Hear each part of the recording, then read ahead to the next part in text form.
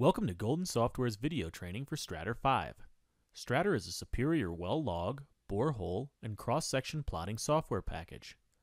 In this video, I will cover how to load data into Strater's internal data tables so you can create logs, maps, and cross-sections.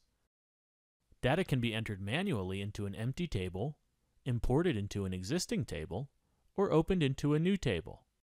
Additionally, multiple data files or sheets can be opened into new tables with one command. We will cover each of these cases in this video. If you don't have a data file, or you don't want to import your file, you can create an empty table and enter the data by typing or copying and pasting from another program. To create a new table, click the Home, New, Table command. In the Create New Table dialog, you will be prompted to determine what type of table to create, and you will need to enter a name for your table. There are eight table types in Strater. For information on these table types, please see the Table Types training video. Since most logs can be created from a depth or interval table, we will choose one of these to create now.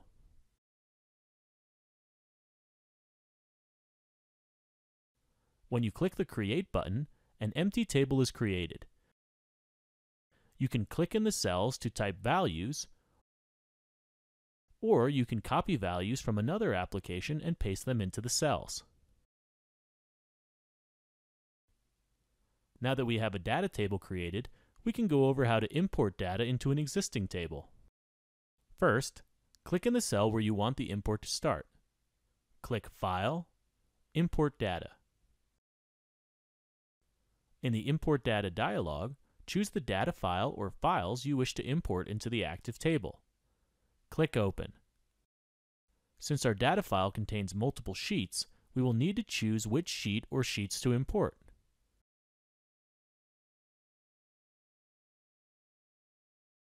In the Specify Worksheet Column Definitions dialog, we define which rows to import.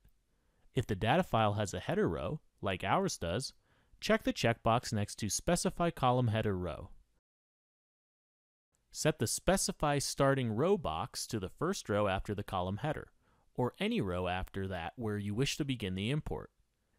If you want to limit the import so it stops before the end of your file, check the box next to Specify Ending Row and enter the last row you wish to import.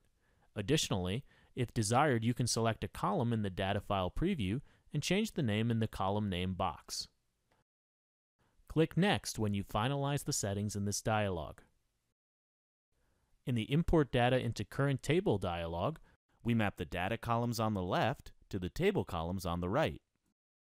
You'll notice that the hole ID and depth table columns already have filled import source columns. This is because the header of the data file matches the table header, so Strater automatically mapped these columns. To map the remaining table column, select the table column and the appropriate data column, then click the right arrow icon in the center. Since we have one additional data column that isn't in the list, we can click the Add Column button to add it.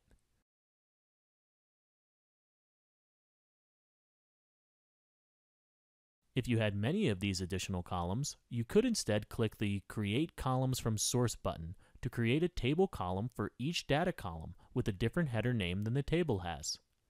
Click Import to finish the import. If your table isn't yet created but you have a data file you want to open, you can use the File, Open command. In the Open dialog, select the data file to import and click Open. Again, if the file contains multiple sheets, select the sheet to open and click OK. The Specify Worksheet Column Definitions dialog is the same one we saw before, so we'll just accept the defaults and click Next. In the Specify Data Type and Column Positions dialog, we choose what type of table we want to create, and we map the data columns to the table columns. Strater uses the column headers to try to determine the table type for you, but if you want another type than the one it chooses, you can select it from the Data Type drop-down list. Strater also tries to match the data columns to table columns, but you can change these by selecting the appropriate data column from the drop-down list next to the table column name. All data columns not mapped to a table column will be appended onto the end of the table as new columns with their data column names. Click Finish to open the data file in a new table. Similar to this process, if you have multiple data files or sheets that you would like to open into different table types, you can use the File, Open Multiple Data Files command. In the Open Data dialog, choose the data file or files you wish to open, then click Open. Select the sheet or sheets you want to open, then click OK. Notice in the Specify Worksheet Column Definitions dialog, you can see the file name and sheet in the title bar. Since you will see this dialog and the Specify Data Type and Column Positions dialog for each file or sheet you've chosen, this helps you make decisions about the data formatting and the desired table type. These two dialogs are the same that we saw from the previous open process.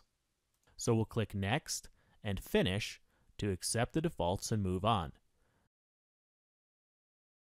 Each of the files or sheets you chose is opened in a new table.